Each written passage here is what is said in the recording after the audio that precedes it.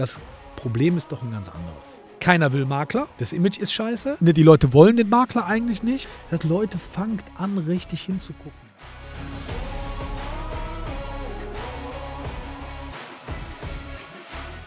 Herzlich willkommen zu einer weiteren Folge von unserem Podcast Immolution. Heute haben wir uns was überlegt und zwar wollen wir mal auf ein spezielles Thema so ein paar Fragen beantworten, die uns von ähm, Kunden immer wieder gestellt werden und zwar das Thema Objektakquise im Allgemeinen, aber da eben vereinzelte Fragen äh, zu bestimmten Themen innerhalb der Objektakquise. Dementsprechend äh, schießen wir eigentlich direkt los und sparen uns das große Gerede am Anfang. Ähm, wie würdest du sagen, ähm, weil die Frage kommt immer wieder, hey, ist denn Printmarketing überhaupt noch zeitgemäß? Ja, das ist eine gute Frage. Und äh, vor allen Dingen gibt es ja sehr, sehr viele da draußen, gerade auch von den sogenannten Tool-Verkäufern, die sagen, das funktioniert alles nicht. Wer macht denn sowas noch? Mhm. Und dazu muss man sich eine Sache in der Tat mal genauer anschauen. Nämlich, wir haben ja in einer anderen Podcast-Folge schon mal über die Zielgruppen gesprochen. Mhm. Und das Thema ist, wie erreiche ich die denn überhaupt? Mhm. Und wer ist überhaupt der typische Verkäufer? Mhm. Und welche Zeit braucht denn diese Person überhaupt, bis sie dann letztendlich eine Entscheidung trifft? Das sind so die so Vorbedingungen, die man einfach mal verstehen muss, ja. So, und hier stellt sich gar nicht die Frage, ob Print oder online oder was auch immer, sondern wie erreiche ich meine Zielgruppe am besten? Das ist mal das Erste, ja. So, dann, wie baue ich mir meinen Expertenstatus mit maximaler Sichtbarkeit auf. Und hier habe ich ein Beispiel. Jetzt würde man sich mal vorstellen, ich würde so einen, sag mal, so einen kleinen zehnseitigen Ratgeber machen. Wie sorge ich im Sommer dafür, dass mein Rasen nicht braun wird, zum Beispiel? Mhm. Ziemlich weird gedankt jetzt, äh, gedacht jetzt, aber es ist halt tatsächlich witzig, ja, weil im Sommer ist klar, es wird wärmer, ähm, es regnet vielleicht weniger und irgendwie haben alle damit zu kämpfen, dass halt so ein Rasen halt braun werden kann. Ja? Also ich habe die ultimativen Tipps, um dass das eben nicht passiert und wie man das irgendwie smart löst. So. Jetzt muss ich mir eine einzige und wichtige Frage stellen, ist, wenn ich jetzt diesen ultimativen Ratgeber gemacht habe, dann muss ich mir die Frage stellen, wie verbreite ich das? Und es geht nämlich um Verbreitung. Es geht um Verbreitung meiner Botschaft, es geht um Verbreitung meiner Dienstleistung, es geht um Verbreitung dessen, was ich tue. Mhm. Und das muss man erstmal verstehen. Also wie verbreite ich etwas? Völlig egal was. Okay. Das ist das allererste. Das zweite ist dann, in dem Moment kann ich an Print gar nicht vorbei. Ich ja. kann an Print gar nicht vorbei, wenn ich wirklich flächendeckend vernünftig verbreiten will. Mhm. That's it. Also mal als erstes jetzt. Vor allem, wenn wir wieder an die Frage der, wer ist denn die Zielgruppe, muss man ja auch ganz klar sagen, Verkäufer im Durchschnitt Ü45, mhm. Ü50, die stehen noch auf Haptik. Ja, klar. Ja, vor allen Dingen guckt halt Oma Erna äh, sich eben das Käseblatt halt tatsächlich an, ja. Mhm. Und Oma Erna ist auch genau die, die sagt, ja, irgendwann mal vielleicht verkaufe ich. Und Oma Erna ist aber auch genau die, die die Flyer sammelt. Hm. Ja, also ich erinnere mich noch gut, dass ich mal bei einem Verkäufer gesessen habe, wo die Mutter gestorben ist und die Mutter hat in einem Ordner original so einen Packen von Flyern von mir gesammelt.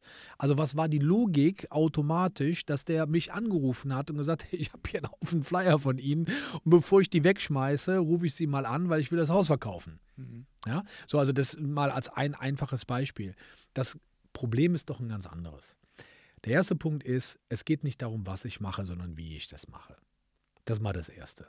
Also wenn natürlich jetzt viele da draußen Flyer verteilen und die sehen halt einfach schlecht aus, dann ist natürlich auch alle gleich vielleicht. und sehen vielleicht alle gleich aus und, und sind auch nicht gut gemacht. Äh, so, damit fängt es ja schon mal an. Mhm. Aber, es ist auch nur die halbe Wahrheit. Also das Wie ist mal ein ganz wichtiger Punkt. Ich muss halt einfach cooles Zeug machen.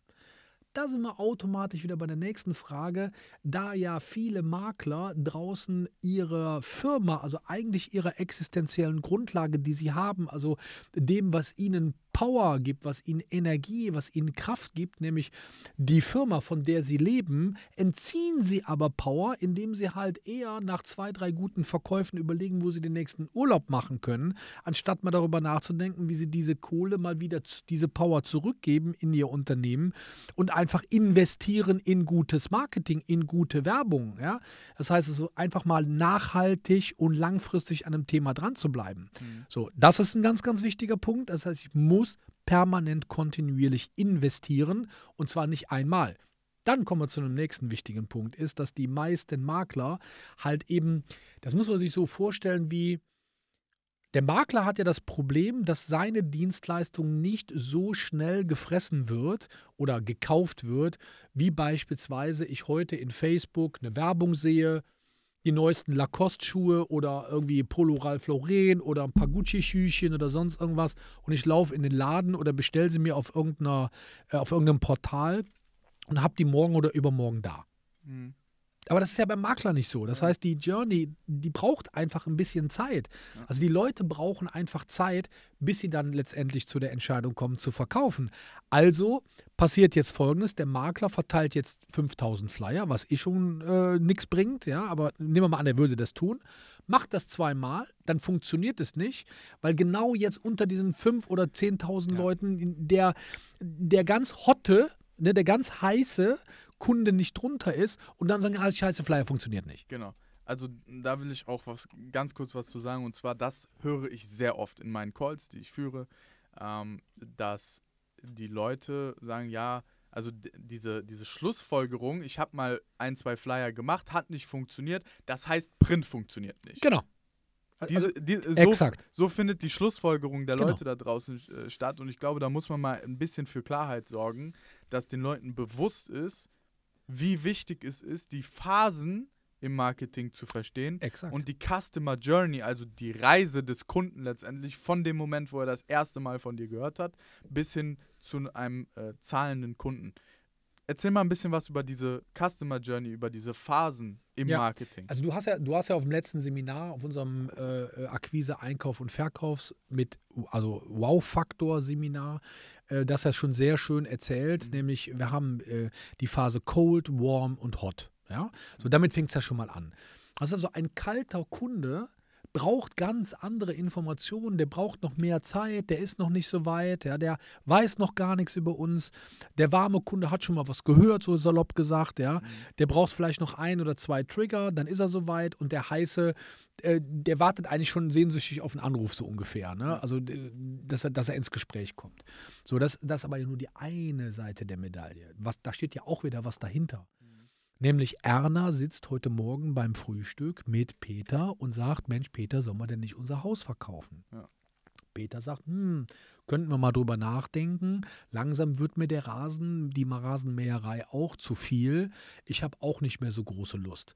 So, jetzt geht ja das erstmal los das mhm. Spiel. Die Kinder werden befragt, die Nachbarn werden befragt, Freunde werden befragt. Was sollen wir tun? Sollen wir privat verkaufen? Sollen wir über einen Makler verkaufen? Ach, wer kennt denn überhaupt einen guten Makler? Ach, die Makler sind ja eh alle scheiße und so weiter. Das ist ja genau das, was da passiert. So, und jetzt mache ich zwei Flyer, bin ich wieder weg. Salopp gesagt. Ja. Also, was brauche ich? Erstes Grundgesetz. Mindestens musst du eine Werbeaktion mal drei, also 90 bis 120 Tage durchziehen, damit überhaupt was passiert. Hm. So, aber damit ist es ja auch nicht getan, äh, Leon. Denn der nächste Schritt ist ja, ich mache eine Werbung. Was machen denn die Leute? Customer Journey. Was machen denn die Leute?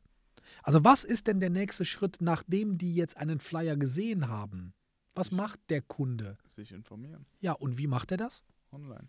Genau. Und was macht er genau? Googelt, Webseite anschauen. Genau. So, und jetzt kommt er auf eine Webseite wo nichts drauf ist. Da ist nichts drauf. Da ist keine Immobilie drauf. Ja, die sieht auch noch ein bisschen wack aus. Ja, schlechte Farbgebung, schlechtes Design und vor allen Dingen was nicht? Keine Objekte.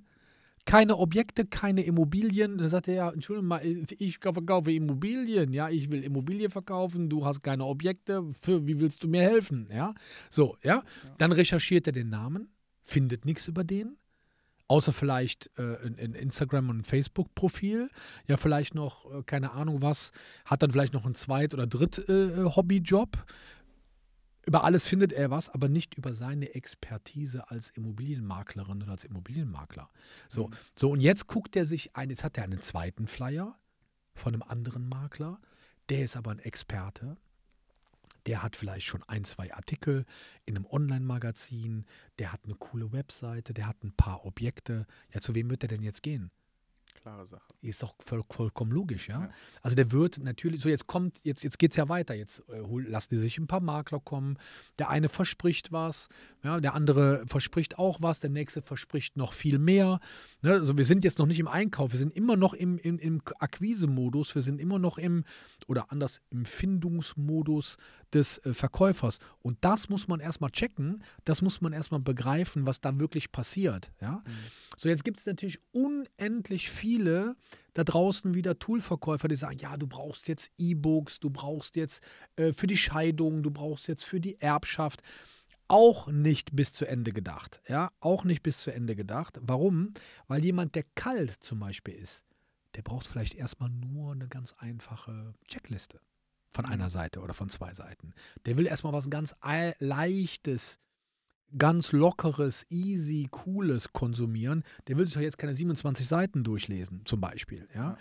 Und da ist halt ein Flyer dann in de- in dem Moment ganz cool, wo es darum geht. Da sind wir dann äh, bei der ersten Phase quasi. Genau, Genau. ja. Jetzt, krieg- jetzt machst du das aber ja weiter.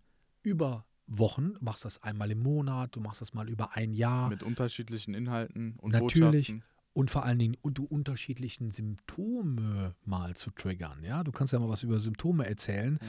was das eigentlich bedeutet. Also du triggerst mal so ganz unterschiedliche Symptome. Ja, Mhm. erzähl mal ganz kurz. Ja, also grundsätzlich ist, ist immer die Herausforderung, ähm, also ein, ein Problem hat ja ein Symptom, ja, irgendwie einen Ursprung, wo das Ganze herkommt.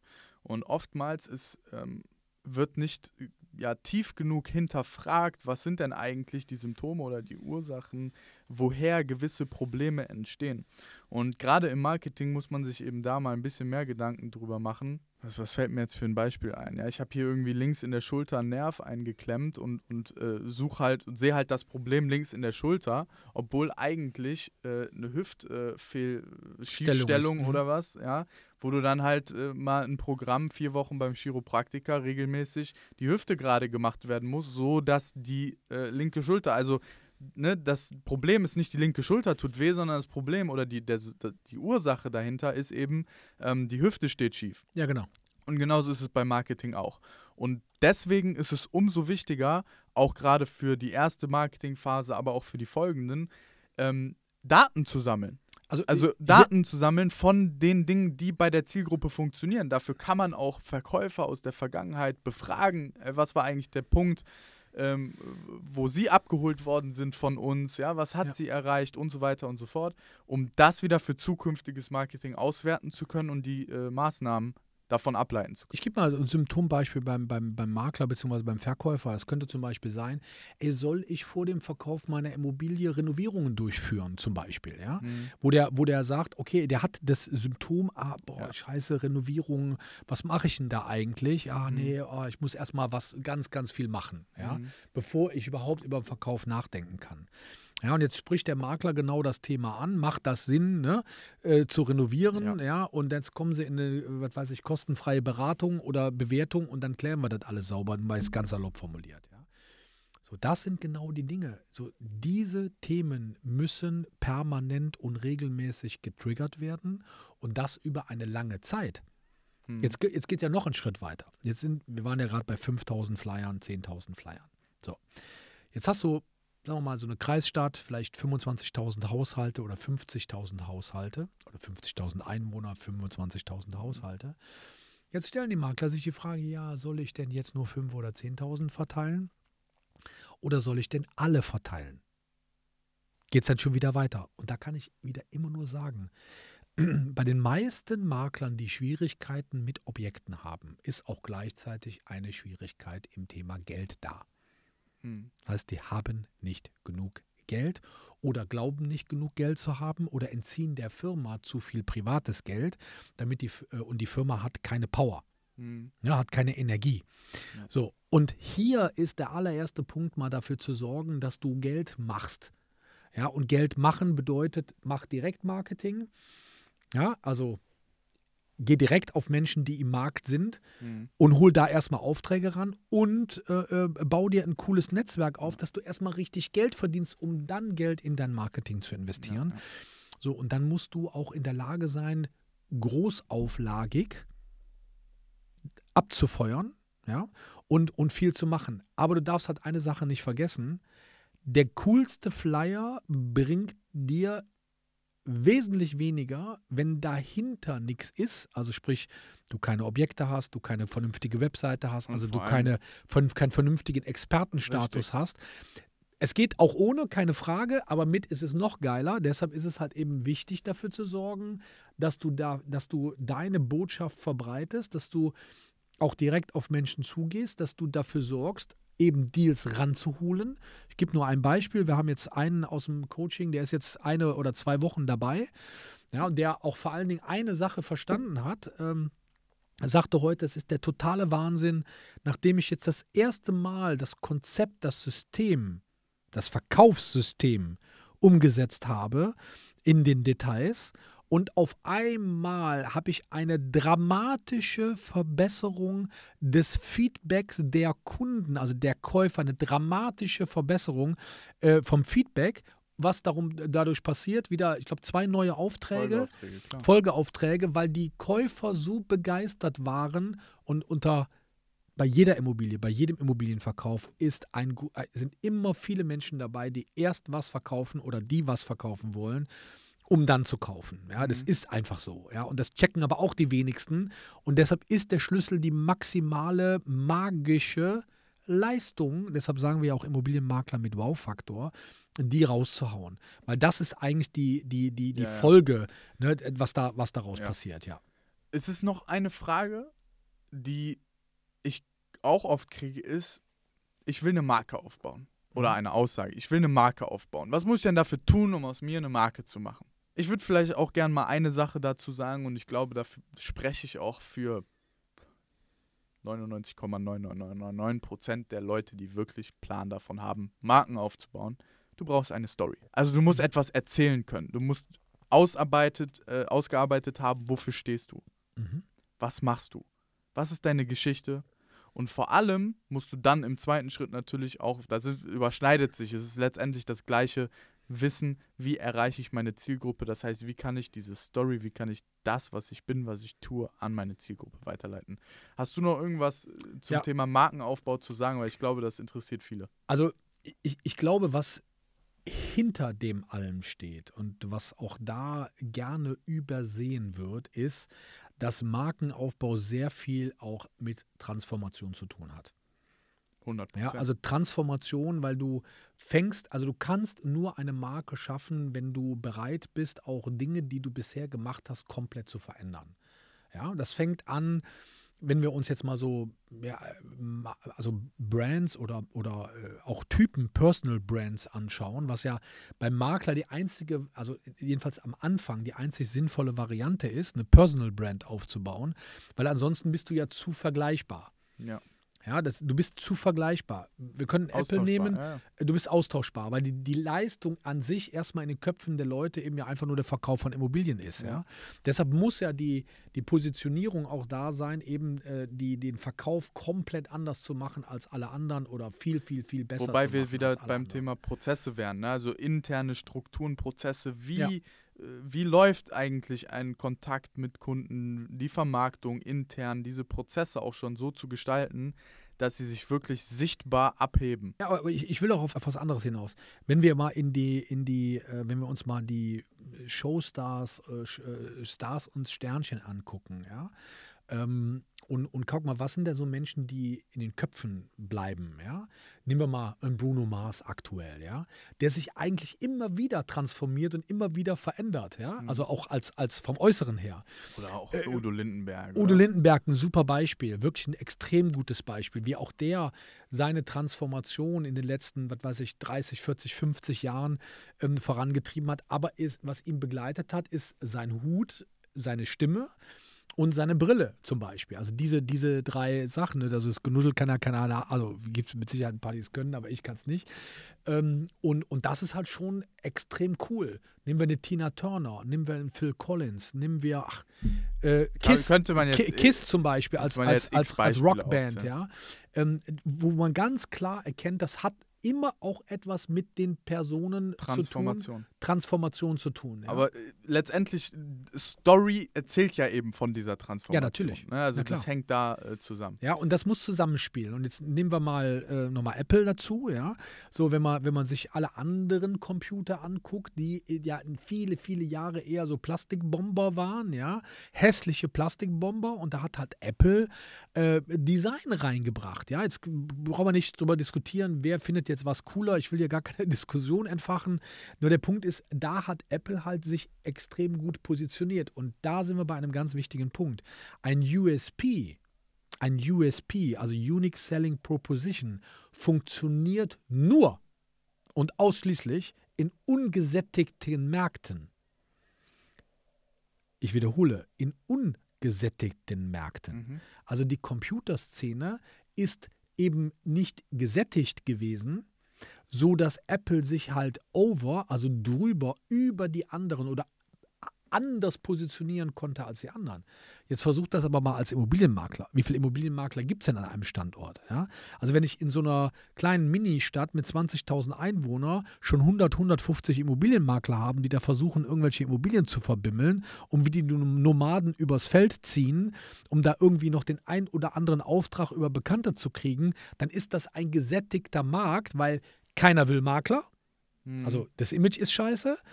Ne, die Leute wollen den Makler eigentlich nicht. So, und, und, und deshalb ist es extrem vergleichbar. Also brauche ich eine Personal Brand. Das heißt, ich muss als Person mich abheben, um dann wiederum unique, unique selling proposition, also ja. einzigartig zu sein.